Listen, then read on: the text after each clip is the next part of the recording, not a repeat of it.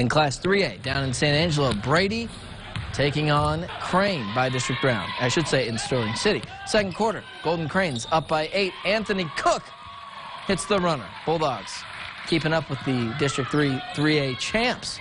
Then, under a minute to go in the quarter, quick ball movement. My goodness, there's Cook wide open in the corner. The three cuts the lead to five, but the Cranes still with some time on the clock. Jorhan Velasco off the feed from Donnie Bishop hits the contested three right before the buzzer.